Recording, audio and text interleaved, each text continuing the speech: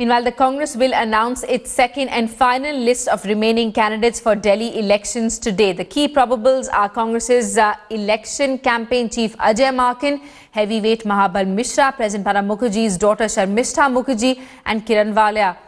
There are strong indications that Kiran Walia may contest from the New Delhi seat to give a direct fight to Arvind Kejriwal, who won by a huge margin and defeated Sheila Dikshit in the last elections. However, sources also confirm that many former ministers may not be given tickets for these elections.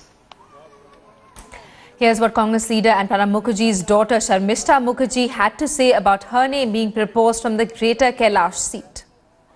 देखिए, जब तक ticket declare नहीं होता, ये completely party की decision है।